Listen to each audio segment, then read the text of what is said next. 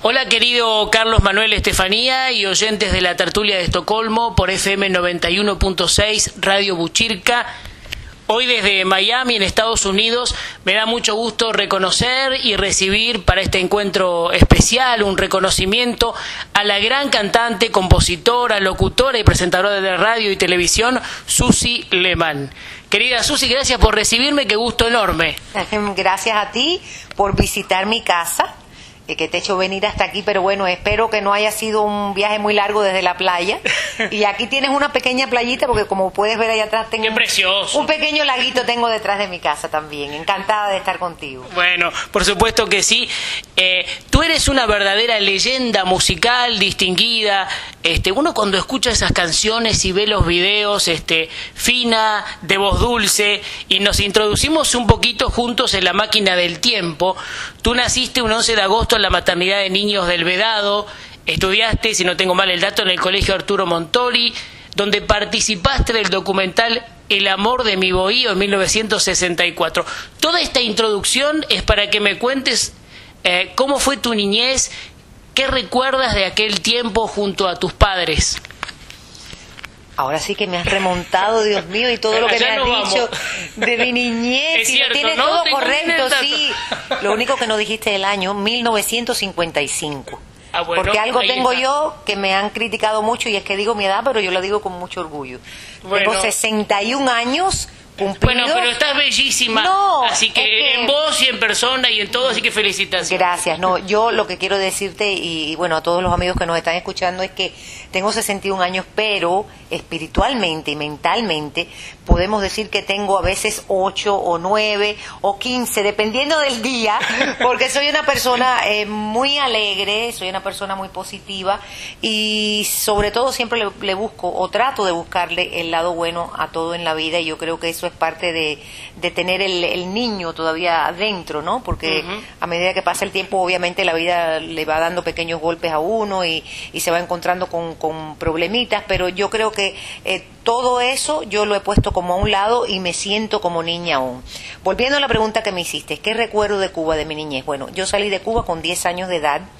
De Cuba recuerdo mi escuela Arturo Montori, como, como tú bien dijiste, eh, estuve en esa escuela hasta que salí. Me acuerdo que iba a pie, me quedaba una sola, como a una cuadra de, de- de la casa. Em, de mi niñez recuerdo el malecón, que lo visitábamos muchísimo en las noches porque había una brisa divina, deliciosa. Se veían las estrellas mm, hermosas y me acuerdo que íbamos con dos dos amigos del, del edificio. Yo, mi mamá vivía en un edificio de apartamentos y entonces éramos como tres o cuatro muchachos, ¿no? Entonces lo- la mamá o los papás nos llevaban al malecón eh, para que jugáramos allí, montáramos bicicleta, mientras ellos conversaban. lindo. Y a- hay una anécdota que yo siempre la, la digo y es que nosotros íbamos a un área del malecón que quedaba frente a lo que era la embajada de los Estados Unidos. Mira tú. Y entonces en aquella época había una fuente frente a la embajada, pero esa fuente nunca tenía agua. Nunca, jamás tenía agua. Y nosotros los muchachos nos metíamos dentro de la fuente y como a mí me gustaba cantar en todas partes, yo me ponía a cantar y el eco era una cosa increíble. Qué lindo. Y uno de los recuerdos que tengo de mi niñez era verme yo cantando dentro de la fuente vacía, sin agua, frente a la embajada de los Estados Unidos, cantando canciones. Casi como premonitorio de lo que se vino después aquí en, en Miami, ¿no? Sí, puede ser. Eh, yo en realidad desde que tengo uso de razón, te puedo decir, Leandro, que he cantado, siempre he cantado desde muy niña y me llamó la atención la música siempre, creo que es una de las cosas más hermosas, de los regalos más grandes que nos ha dado Dios la música. Eh, tu familia se radicó primero en España, luego en Nueva Jersey, hasta llegar a Miami, donde hoy viven muchos compatriotas cubanos que huyeron de la tiranía castrocomunista. Yo sé que hay muchos hispanos y sobre todo te comentaba cubanos exiliados en Suecia que se están emocionando al escucharte. Y bueno, y que nos cuentes un poquito eh, cómo fueron tus comienzos con la música justamente hasta llegar a grabar el primer disco en 1976. En el historial inicial aparecen nombres como Víctor del Corral y el cineasta y representante Manolo Alonso, entre otros. Me tienes, me tienes, tengo que decir lo que estoy atónita, porque todo lo que me has dicho es correcto. Yo no sé. Voy ganando, voy ganando la batalla. No, has hecho, has hecho un research, pero vaya, genial, esto es algo increíble. Bueno, efectivamente, de Cuba me fui a España. En España vivimos poco, en España estuvimos un par de meses nada más. De España volamos al aeropuerto John F. Kennedy en, en la ciudad de Nueva York. Sí. Ahí estuvimos eh, por espacio, yo diría de un mes o dos nada más, porque brincamos el río Hudson y nos fuimos a New Jersey, donde vivían unos, unos familiares, unos parientes de mi papá. Y ahí eh, comencé en la escuela. Recuerdo que, como en todas partes, habían sus concursos de vez en cuando en los teatros de, de música y hubo un concurso en especial que se hizo en el teatro que se llamaba Colony, en la calle 48, en Union City, New Jersey, donde yo vivía. Y el primer premio, imagínate tú que eran 5 dólares. El primer premio ganaba 5 dólares, increíble. Y yo me llevé ese primer premio. Y como estábamos acabados de llegar de, de Cuba y estábamos tan necesitados porque era una época muy difícil, eh, les regalé, por supuesto, ese dinero a mi mamá para ayudarla con, con, con los gastos que teníamos, porque vinimos mi mamá, mi abuela materna y yo. Vinimos, eh, salimos de Cuba nosotras tres. Después, al cabo del tiempo, salió mi papá de Cuba como a los cuatro años. Y siempre canté, cantaba en la escuela, cantaba en el coro de la escuela, como te digo, cuando habían los concursos me iba a, a- competir, hasta que ya pasaron ciertos años.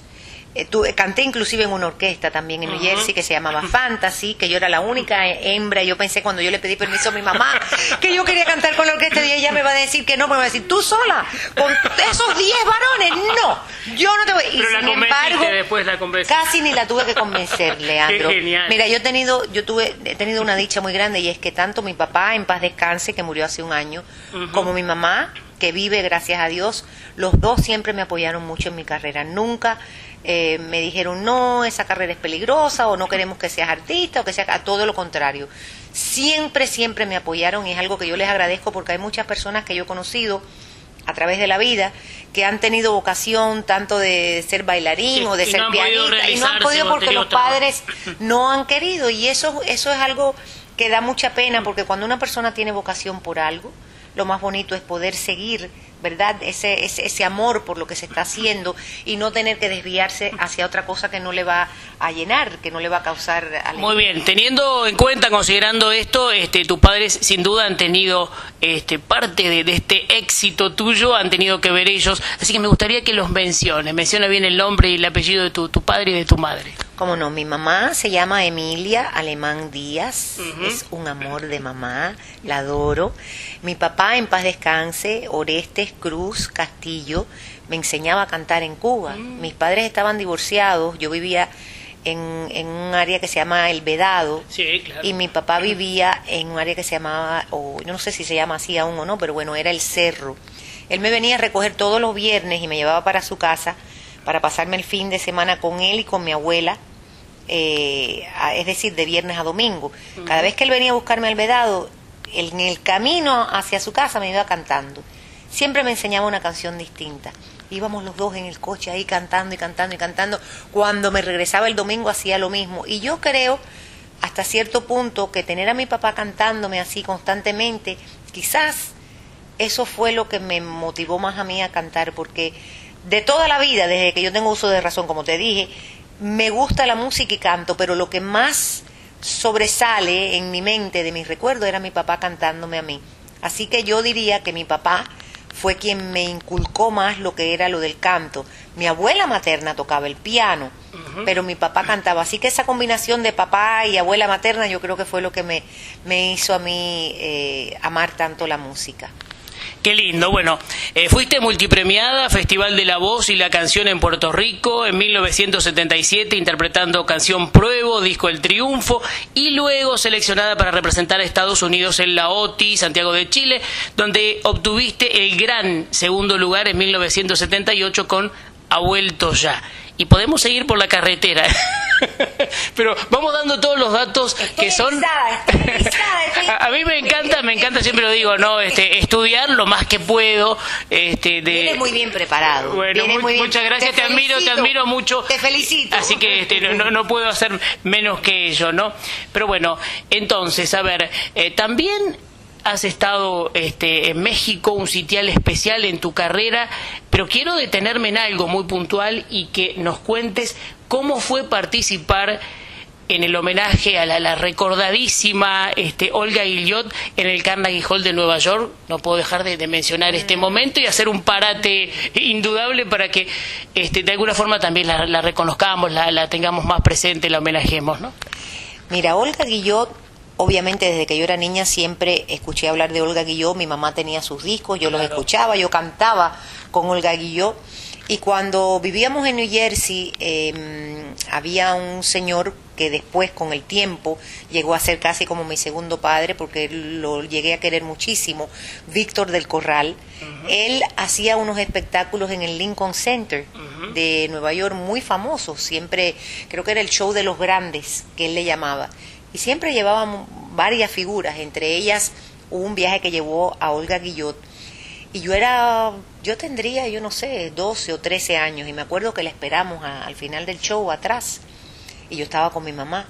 Y cuando ella salió, yo le dije, ay Olga, yo la admiro mucho usted, yo tengo sus discos, a mí me gusta cantar, yo canto con, con, con su... Y yo creo que hasta le empecé a cantar una cosa que ella cantaba que era, eh, bravo, permíteme aplaudir por la forma de herir mis sentimientos. Ay, qué lindo. Y ella se quedó porque era una niña, yo era una niña, tendría 11, 12, 13 años. Y me acuerdo que me dijo, mi amor, si a ti te gusta cantar, lo primero que tienes que hacer, porque era invierno, es buscar una bufanda y cuidarte, porque en tu garganta ese es tu tesoro y te tienes que cuidar la garganta. Y eso, yo era bien niña. Después, cuando pasó el tiempo, que nos conocimos ya y hasta eh, estuvimos eh, trabajando en, algún club o algo así juntas, bueno, ya le dije, ¿tú no te acuerdas de aquella niña que te fue a ver detrás del Lincoln Center? Que tú le dijiste que la bufanda... Pero claro que me acuerdo. Y siempre, después con el tiempo decíamos, ¿te acuerdas que yo era la niña, la niña? E inclusive cuando le hacen ese homenaje del que tú mencionas en, en el Carnegie Hall, yo me acuerdo, fíjate que de verdad que me emociono porque me estás trayendo recuerdos tan bonitos que, que no visitaba hacía tanto tiempo estas cosas que me han sucedido a través de mi vida con, con la música. En el mismo Carnegie Hall estoy segura que le dije, Olga, mira las vueltas que da la vida y, qué bonito es Dios y qué bonita es la música, que nos conocimos personalmente cuando yo era una niña, cuando te fui a ver, me dijiste que me cuidara la voz, que me pusiera la bufanda y ahora estamos en este homenaje que te hacemos y que yo te hago doblemente porque te admiro tanto y recuerdo lo bien que me trataste y lo bonita que fuiste conmigo cuando yo era niña.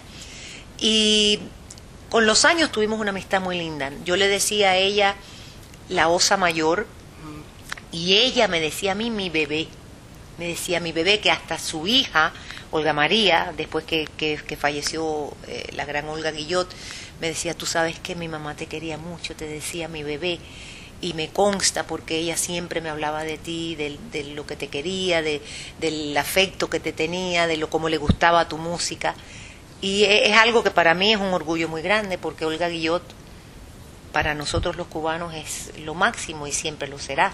Yo creo que ella es universal. Universal, totalmente. Bueno, gracias por compartir este recuerdo. No, y un ¿eh? personaje, porque te digo que hablar con Olga Guillot y escuchar sus anécdotas eso era mejor que ir a una película, a un cine y pagar por ver una película. Olga Guillot era algo uno coincide, Yo te decía este fuera de micrófono, ¿no? Te mencionaban a Ti Mistral o Luis Aguilé oh, y que uno coincide cuando realmente el artista y la persona son grandes, son enormes, tienen esa humildad que es maravillosa, ¿no? y cuando se le acerca una persona y lo toman en cuenta, un artista que está comenzando y todo lo demás, eso los hace doblemente grandes. Y es tan importante para una persona que está comenzando que tiene esa ilusión, más cuando uno es niño, que alguien le preste atención a uno no es fácil. Porque sabes que cuando uno está en esa cierta edad, que ni es grande, o es más chiquito que grande, todo el mundo habla, pero uno no cuenta. Es como si uno fuera invisible a un lado ahí, y uno va a decir, dice, usted cállese, usted no tiene nada que decir ahora. Y ella me escuchó a mí, y eso yo se lo agradeceré eternamente a Olga Guillot. Muy bien. Eh, bueno, Cantaste también el Madison Square Garden de Nueva York y recordando a colegas, eh, has compartido escenario con Sarita Montiel, recién que nombrábamos a Nati, Mistral, Roberto Carlos, la argentina este, que ha hecho una carrera eh, internacional y en México una estrella, Libertad Lamarque, eh, Ángela Carrasco, Camilo Sesto, Paquito de Rivera, bueno, entre otros, pero ahí otra vez nos detenemos, luego me cuentas algo más de, todo esto, pero yo quiero detenerme especialmente para pedirte un, recuerdo, un concepto de tu amiga Rocío Jurado. Rocío Jurado es un caso aparte. Rocío Jurado la, la conocí precisamente en Nueva York, en, estoy casi segura que era en ese show del Madison Square Garden, donde estaba Ángela Carrasco también, Camilo Sesto, Roberto Carlos. Cuando yo conocí a Rocío Jurado, yo soy muy honesta, me pareció que era una mujer eh, un poco como sobredramática, eh, hasta un poquito a lo mejor ficticia, porque la veía con tanta, era tan, tan, ay Dios mío, era tan fuerte su, su carácter y su proyección. Claro. Y fíjate lo que es la vida. Ese primer impacto no es que me cayera mal, pero como que... La primera impresión, digamos. La primera impresión me, me pareció que no era una persona natural. Y después la llegué a conocer, y después la llegué a querer, y la llegué a admirar.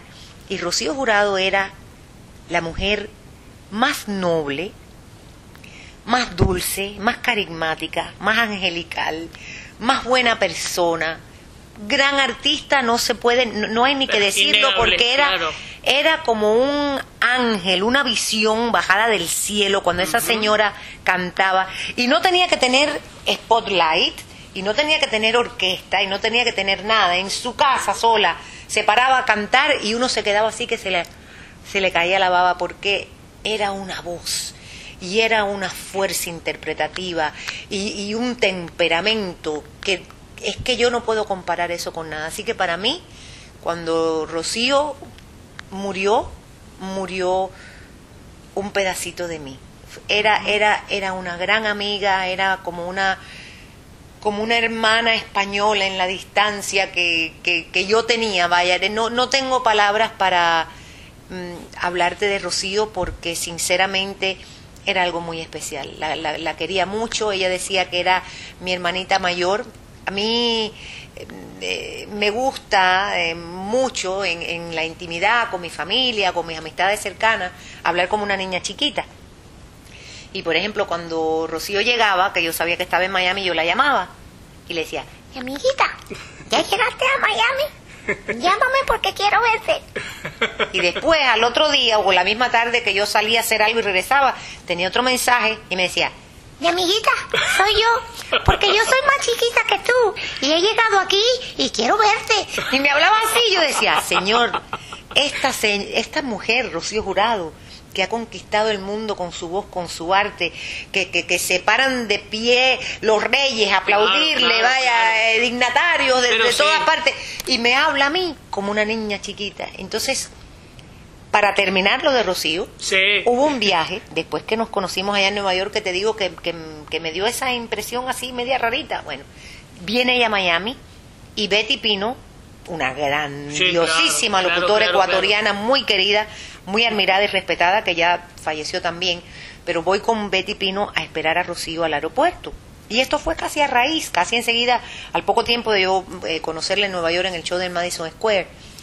Y llega Rocío y viene con, con, su hermano y su peluquera y todo y qué sé yo y le digo ay Rocío qué traje tan lindo porque era un traje de chaqueta y de saya rosado como con unas rayitas así todavía lo, lo estoy viendo precioso. Y me dice ay gracias mi amor qué sé yo. Bueno salimos de los, del aeropuerto recogimos las maletas vamos al hotel porque después la íbamos a acompañar a una entrevista y íbamos a almorzar qué sé yo.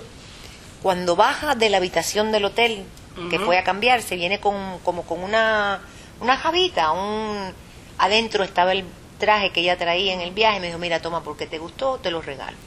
Qué hermoso gesto. ¿Te imaginas eso? Una persona que me había, yo, que me había visto en Nueva York una vez antes y que nos habían presentado, hola, ¿qué tal? Y nos cruzamos dos o tres palabras. Y nos volvemos a ver y me, y me, y me regala su... Vaya, eso para mí es un gesto muy especial y eso no lo hace todo el mundo. Seguro, la nobleza de bien de los grandes. Y todavía lo tengo. Y estamos hablando de que eso hace, eso fue en el año 80, quizás fue 79, 80, 81. Así que imagínate el tiempo que hace que lo tengo. Bueno, pero es algo muy preciado, este, así que muy bien que lo tengas junto a tu corazón, porque está, ahí debe estar. Bueno, a ver, destaco otros clásicos este, para eh, considerar distancia con esa voz preciosa de Alberto Cortés, otro grande, grande, grande, grande, grande. Este, eh, pero, por supuesto, eh, también total hermosísima canción total. De Lolita de la Colina de México. Y seguimos repasando. A ver, Veneno, Amante pasada de moda, Déjame esta vez, se me eriza la piel, Amante a medias, no, como antes, pero él, alguien como tú, voy rapidito por la carretera porque son muchísimos. Madre mía. Esperándote, aún te amo, ¿por qué, por qué? Huracán, como el aire, como el humo, miénteme, ha vuelto ya y tantas otras, presentándote no solo en Estados Unidos, sino en Centroamérica, Sudamérica, recorriendo el mundo. Este, así que bueno, indudablemente eh, todas estas canciones son maravillosas, pero eh, cuando uno empieza a escuchar y a ver, se emociona profundamente entre todos los temas con, repasando los éxitos, ¿no? Con No es igual mm. que yo digo, conecta con los sentimientos más puros como la nostalgia, los sueños de la niñez, y tiene para mí, Susi, una mezcla de este los sueños con a lo mejor en determinado momento uno después de niño se enfrenta con la realidad digo no o sea nostalgia con realidad este imagino que este tema digo total por supuesto que también distancia también todos pero no es igual eh, para mí tiene algo muy muy particular te ha dado seguramente muchas satisfacciones no es igual, es un tema emblemático en, mi carrera. Yo diría que es una de las canciones que más me piden. Es de la autora cubana Irma Rodríguez, que reside aquí en Miami también. Y una de las cosas que me gusta de esa canción es que no, no dice la palabra Cuba, aunque yo soy cubana y estoy orgullosa de serlo. Pero es un tema que lo mismo le pega a un venezolano, que a un cubano, que a un argentino, que a un peruano. Pero qué sentimiento tiene esa canción, es bella, es una canción de alguna forma es como que nos traslada en el tiempo, este, inevitablemente, ¿no? Que además, ¿quién este, de niño no soñó determinadas cosas? Después, bueno, se llegó a la realidad, vio otras, ¿no? Pero este, por eso digo esto de la, nostalgia. Esa este, canción, mira, mira lo que son las cosas de la vida. Esa canción la escribió una cubana. Sí. Se grabó en Venezuela. Mira tú el arreglo lo hizo un mexicano, mm. Luis Oliver, en paz descanse, gran arreglista. Y no es igual, tiene, tiene una historia muy, muy peculiar, ¿no? Y es que cuando yo voy a Venezuela a grabar este disco, ya estaban algunas pistas, estaban eh, hechas. Y Luis Oliver me tenía la pista de No es igual. Y cuando llego al estudio, que vamos a grabar, el arreglo era completamente distinto. Mm. Y tenía un ritmo como más rapidito, más bailable, más, y a mí me da mucha pena, muchísima pena decirle a una persona, mira esto no me gusta o esto que creo que debe ser distinto, a mí a mí eso me cuesta mucho trabajo.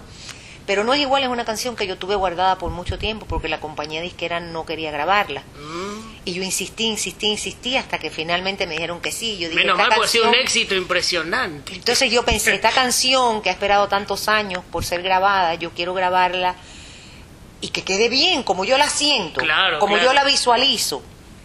Entonces le, le dije a Luis, que Dios lo tenga en la gloria porque era una bellísima persona, un hombre encantador y un talento increíble. Le dije, ay Luis, no te pongas bravo, pero mira, esta pista, este arreglo que tú me has hecho, no es lo que yo siento con esta canción. Mira, esta canción yo la siento así, así, así, y yo quisiera que, que fuera una cosa como como más sutil, más lenta. No sé, el caso es que le empecé a explicar, me dijo, no tengas pena, Susi, no hay problema, yo quiero que tú te sientas cómoda, yo quiero que, cuando tú entres a la cabina y cantes la canción, sientas que ese es el arreglo. Y el pobre hombre votó el arreglo, votó la música, hizo otro arreglo y me lo empezó a tocar poquito a poco y me fue diciendo, bueno, y ahora aquí, y empezó a, añadirle los instrumentos hasta que me dijo, ¿qué te parece esto?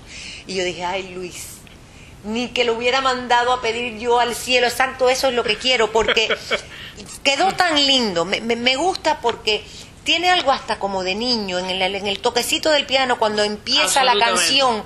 Y él no es igual cuando entra la parte de, del coro es una cadencia muy suave, muy lenta, muy fina, muy sutil y era lo que yo muy, quería. muy hondo en el corazón de la gente y más bueno. Bello tema, seguro que, lo que, bello los que han, por ejemplo, yo imagino, pienso en los cubanos exiliados que nos están escuchando ahora y que tienen nostalgia de su tierra, que ese es un tema que seguramente después compartiremos Oh, y que bello. les va a llegar a lo más profundo de su corazón. Y dicho sea de paso, un dato muy interesante, Libertad Lamar, que también grabó el tema No es igual.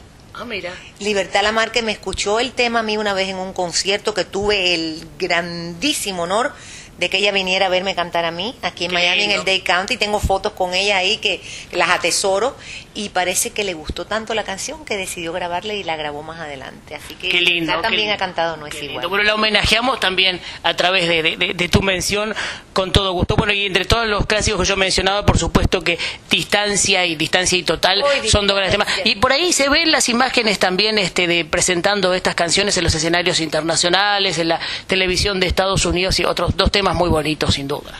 Oh, be- bellos temas. Total, a mí me gusta mucho de Lolita de la Colina, que es muy simpática, aparte de ser muy talentosa, eh, es una mujer increíble. Eh, y precisamente llevo tiempo de esas cosas que uno dice, vamos a vernos mi amiga y te voy a visitar porque ella vive aquí en, en Miami, se pasa tiempo entre México y Miami, pero me parece que está más tiempo aquí. Eh, y no he, no, he, no he podido a visitarla últimamente, pero es alguien a quien admiro muchísimo, me llevo muy bien con ella. Y este tema total eh, lo grabé igual, con un arreglo que me encanta. Ese sí no tuve que decir me gusta o cámbialo, no, no, ese quedó perfecto. Total es un tema que a veces la gente confunde con el otro total que canta Vicky Carr. Sí. Pero este es de Lolita de la Colina, eh, lo, lo grabé hace varios años, igual que otro tema de Lolita de la Colina, que es Alguien como tú, que es precioso. Ese tema lo grabé en el segundo LP, el, el Alguien como tú, que lo grabó también Manolo Muñoz, era un cantante mexicano. Sí, Lo han grabado varios artistas, pero no es por nada, la versión mía me gusta más y no es porque la cante yo, es porque tiene un arreglo de un arreglista argentino que se llama Carlos Francetti, que es excelente. Y para mí la canción Alguien como tú es preciosa, pero lo que la hizo de verdad, de verdad, y ojalá que lo puedan escuchar nuestros amigos oyentes, Pero, ¿cómo no? para mí lo que tiene esa canción, aparte del lindo tema y todo que es, es el arreglo de Carlos Francetti de, Arge- de Argentina, que por cierto, ahora que te digo eso, Tino Heiser es otro gran ar- arreglista argentino que reside en México, que también me hizo varios arreglos. Así que ahora que estoy pensando en todo esto, yo tengo muchos vínculos con, con Argentina eh, a través de la música. Qué, genial y qué bueno bonito. reconocerlos también. Quiero decir, porque en la composición, en la creación está este darle vida a la melodía, ¿no? Además, por supuesto que la interpretación es muy importante, pero también la composición y la creación. Hombre, si el Así autor que no se demo- hubiera inspirado a escribir el No tema, nada. nosotros no podíamos cantar nada, Pero imagínate. claro, Así claro, que claro. cuando yo trabajaba en la radio, siempre que podía trataba de decir el nombre del autor, porque creo que se merece Sí, que le den se- se olvida crédito. y está muy Oh, mal, muy, muy muy mal, pocas muy veces mal lo han- Bueno, hay emisoras hoy en día que yo creo que no dan ni el título a veces ni de la canción, ni dicen quién canta a veces. Y hay otras que es peor que dicen tal canción de que en realidad no es de el que interpreta, de ese que la compuso, pero- pero, ya lo toman como una cosa. Por eso este, hay autor y hay intérprete, señores, aunque a veces el autor es el mismo intérprete también, obviamente. Pero claro, bueno, entonces ya que estamos hablando de la radio, que este para mí también es una pasión, yo te decía que hago radio desde los 14 años, así que bueno, este, ¿qué saldo te ha dejado la conexión con tu público como gran estrella de la radio hispana del sur de la Florida entre 1990 y 2010, que es una barbaridad de años y como evidentemente noto y sé por, por los colegas con los que he hablado, este, ha sido siempre una profesional este, abierta a la buena música, a contribuir con los compositores, con tus colegas, intérpretes también, así que bueno, eso tiene un gran mérito y además una, una buena programación. Este, un buen ciclo, que eso es lo que este, muchos a veces añoran y por cuestiones comerciales o de estos cambios modernos que, que a veces son para mal, no tenemos, ¿no? Y bueno, la, la radio también debe mostrar un buen producto, así que quiero saber tu, tu reflexión, tu saldo de la conexión con el público, es tanto tiempo maravilloso en la radio de, de Estados Unidos.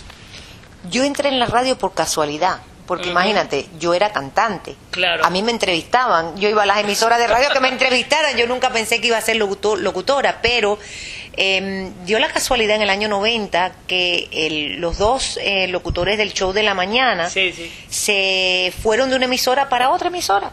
Y como el dueño me conocía a mí, nos conocíamos hacía mucho tiempo, sabía que yo vivía en Miami, nos conocíamos, me dijo, Susi, mira, si no te importa, a mí me gustaría que tú estuvieras, aunque sea un par de semanas, en el show de la mañana, porque se me han ido los locutores, se me van de pronto, de ahora para luego, y necesito cubrir, y si no te importa, eh, me gustaría que me cubrieras, aunque sea dos semanitas, hasta que yo consiga a alguien, pero eh, puedes hacer algo y quién sabe, a lo mejor te gusta. Yo le dije, bueno, ok, no hay problema.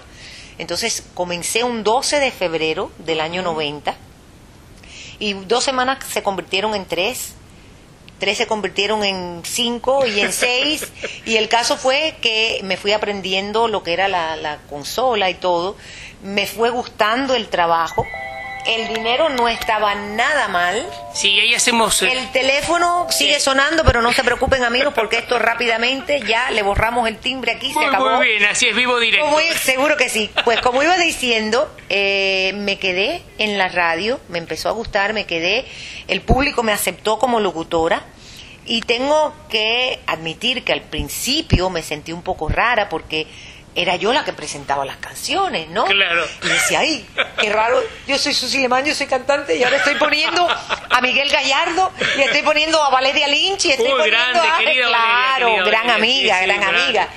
Eh, María Marta Serra Lima. Tú sabes, bueno, yo siempre fin. digo, pero fuera de micrófono yo te lo decía, una de las personas que más he entrevistado este y que además me ha presentado a, a muchísimos colegas es, es Valeria, gran estrella de Argentina. ¿eh? Divina, encantadora. Ella me vino muchas veces aquí a Miami, siempre la iba a ver. En algunas ocasiones trabajamos juntas en algunos conciertos de, de FM 92. Y mm, pues nada, ponía su música. Oh, fuera de mi vida. Oh, claro. Eh, bueno, t- cuántas canciones bellas de Valeria Lynch. El caso es que me quedé en la radio, me quedé por 20 años. Y fueron 20 años maravillosos porque, eh, como dije, el, el dinero estaba muy bien, pero me encantaba tener el contacto directo con los oyentes. Era, era una cosa así como mágica de pensar, señores, yo voy a aprieto, yo aprieto este botoncito y hablo y lo que yo estoy diciendo ahora en este momento lo están escuchando miles y miles y miles y miles y miles de personas, qué cosa tan Además la respuesta es directa que no pasa con la televisión, eso por, Por supuesto, que no. Así que claro. ese, ese feedback Además, es maravilloso. No tenía que maquillarme, no tenía que vestirme linda, ponerme eh, tacones ni nada. Iba sin pintura, como fuera, iba y hablaba por el radio y nadie sabía lo fea que yo estaba por la mañana. Pero no, no, no, pero con esa voz maravillosa. este, Porque bueno. hacía el show de la, de, de la, de la mañana. Yo comencé haciendo el show de 6 a 10 de la mañana, que para mí era un castigo, porque yo era de las que me acostaba a las 3, las 4, las 5 de la mañana. A las 6 estaba yo empezando a quedarme dormida. Y fue, fue, fue brusco, fue fuerte para mí, pero eh, duró, ese horario duró como 3 o 4 años y después pasé al del mediodía. Después pasé al de la noche, de 7 de la noche a 12 de la noche, y después pasé al de la tarde, que es el que tuve ya hasta el final, de 2 de la tarde a 7 de la noche. Pero fue una bendición y le doy gracias a Dios y a la vida por haberme permitido estar durante 20 años ante un micrófono, porque realmente creo que llegué a muchas personas y le di mucho de mí, muchísimo más que en un teatro, porque uno va a ver un cantante, un artista y lo ve cantar una hora, dos horas, lo aplaude y se va para su casa y no sabe más nada de, de ese artista, ni cómo es, ni cómo siente, ni cuáles son sus pensamientos, ni, y en la radio, pues yo podía conversar con los oyentes, yo recibía sus llamadas, enviaban faxes, enviaban emails y, y- había un contacto directo, aparte de que yo abría las líneas telefónicas y la gente llamaba y pedía canciones. Era, era muy lindo, le doy gracias a Dios por, por esos 20 años. Claro que sí, eso trasciende el tiempo porque la gente sigue teniéndote presente sin lugar a dudas. Bueno, pasemos a otra cuestión. Cuéntanos en qué consiste tu tarea como portavoz en The University Healthcare de Jayalía, ¿eh? rescatando la sabiduría de los mayores por un buen vivir. A ver. bueno, yo soy lo que le llaman la representante, portavoz de University Healthcare. University Healthcare son unos centros de salud que hay aquí en el sur de la Florida. Tienen cuatro centros, están abriendo otros dos centros porque a Dios gracias están creciendo un poquito gracias a mí. claro, pero ahí mismo que hay, hay este, en, los buses, son distintos lugares, aparece tu, foto, uno viaja con, con su Es muy simpático porque ellos tienen sus buses donde transportan a, los pacientes y algunos de esos buses tienen pues mi imagen. Y a veces yo misma voy manejando y se me pone uno adelante y digo, pero ¿qué es esto? Voy delante y detrás de mí a la vez, esto, esto es rarísimo y cojo mi teléfono y retrato la guaguita y entonces lo pongo ahí en Facebook y digo, eh, ¿qué, qué, puse uno ayer o antier que puse algo así como de qué simpático o, o qué raro es ir detrás de mí misma o una cosa así, pero me encanta Dios ha sido muy bueno conmigo. Yo le tengo que dar gracias a Dios todos los días porque cada vez que ha habido algo que a mí me ha gustado hacer, Él me lo ha puesto en el camino. Cuando me fui de la radio, yo quería tomarme un tiempo libre para poder compartir con mi familia, para descansar, para disfrutar la vida un poquito más y quitarme un poco el corre-corre ese que, se vive a diario. Tuve como tres años para hacer lo que yo quisiera. Compartí mucho con mi familia, viajé, etcétera, etcétera. Y después se me presentó esta oportunidad de trabajar con personas mayores, como digo yo, con experiencia acumulada, y es algo que me ha dado muchísima satisfacción, porque yo desde que era joven compartía siempre mucho con mis abuelas, con mis dos abuelas, mi abuela materna y mi abuela paterna fueron una gran inspiración para mí. Siempre disfrutaba mucho escucharlas hablar, escuchar sus anécdotas, sus historias, su sabiduría. Y es algo que desde muy joven disfruto. Entonces ahora, con la edad que tengo, pues lo disfruto más todavía porque puedo entender mejor el porqué de las cosas de las personas mayores, el por qué a veces hablan como hablan o dicen que se quejan o se sienten quizás un poquito tristes o un poquito deprimidos. Y yo vengo... Los consejos que también transmiten de acuerdo a la experiencia vivida. Por supuesto, por supuesto, pero mi trabajo dentro de University, aparte de hacerles los comerciales de televisión, los jingles de la radio, etcétera, etcétera, es visitar los centros, especialmente en los días de cumpleaños, como hoy, que vengo del centro de Homestead y lo que hacemos ahí es celebrar la vida, celebrar los cumpleaños, cantar, comer cake, sentarme con ellos, darle un beso, pasarle la mano. Eh, y entregar tu tiempo, que es lo más valioso y lo más lindo. Entregar mi tiempo y entregar mi corazón. Sin dudas. Porque lo más lindo de la vida es poder brindar cariño, brindar una, una una mano amiga, brindar un apoyo en un momento difícil de que, atravesamos todos en la vida en cualquier en cualquier etapa, pero más cuando ya se van entrando en, ciertos años, ¿no? Así que me siento muy contenta de lo que estoy haciendo hoy en día, que es haciendo la publicidad para University Healthcare, pero a la vez compartiendo con los pacientes y dándoles de mí lo mejor de mí, por supuesto, que es lo más importante, porque no vamos a dar eh, el lado malo, no vamos a dar el lado bueno, aunque en realidad, como te dije, yo soy una persona muy optimista, soy una persona muy positiva y siempre trato de buscarle el lado bueno a todo en la vida y creo que eso es lo más importante, lo que tenemos que hacer, porque los problemas caen del cielo y vienen solos, la felicidad y los buenos ratos los tenemos que buscar y los tenemos que hacer nosotros mismos.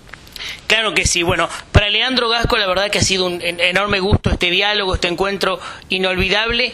Quiero pedirte en el final un saludo o mensaje para los oyentes hispanos de la tertulia de Estocolmo por Radio Buchirca en este magazine radial que hacemos desde Estocolmo al mundo. Bueno, en primer lugar me parece mentira que esto que hemos hablado, lo que estamos hablando aquí ahora tú y yo en la sala de mi casa tan tranquilos, llegue a tantos lugares y a tantos lugares así lejanos que tuviera yo que montarme en un avión y estar muchas horas para llegar a ustedes. Y gracias a ti y gracias a este programa pues les puedo enviar este saludo. Ante todo, un abrazo bien fuerte para todos ustedes, es un placer y es un honor muy grande poder eh, saludarles Le deseo a todos ustedes, ante todo, mucha salud, que es lo más importante que tenemos eh, los seres humanos con salud. Todo se logra, todo se puede, todos los problemas se resuelven, siempre hay opciones, como le digo a mi hijo, en la vida siempre y cuando tengamos opciones, estamos bien. Así que les deseo salud, les deseo felicidad, mucha paz para todos ustedes. Sigan escuchando buena música porque la música creo que es medicinal, creo que la música cura el alma, por lo menos. Y espero, ojalá, algún día este abrazo fraternal que les envío a través de la radio se los pueda dar personalmente. Hasta entonces, que Dios los bendiga y Leandro, gracias por tu amabilidad, por tu gentileza de venir aquí a mi casa en el día de hoy y a todos ustedes salud, paz, éxito y mucho amor. Gracias. Muchísimas gracias. Lo mejor, querida este, Susi Lehmann, y sin dudas la música es un alimento para el alma y por eso, desde luego, vamos a disfrutar de las mejores canciones de la queridísima Susi Lehmann. Quédense en la tertulia de Estocolmo.